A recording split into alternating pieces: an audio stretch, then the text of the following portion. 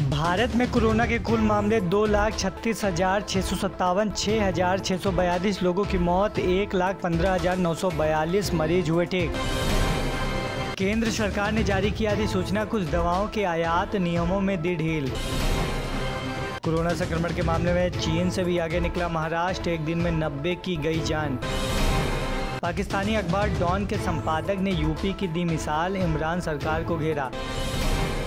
PIB के प्रधान महानिदेशक निकले पॉजिटिव गडकरी समेत सरकार के कई मंत्रियों पर मंडराया खतरा। जम्मू कश्मीर शोपिया में मुठभेड़ के दौरान चार आतंकी ढेर तलाशी अभियान जारी। आज खुल जाएगा पूरा देश 15 अगस्त के बाद ही खुलेंगे स्कूल, कॉलेज। पूर्व वाइस चीफ एयर मार्शल का खुलासा, वायुसेना की कार्रवाई की सरकार को भी नहीं थी बनक, चीन भी हुआ हैरान।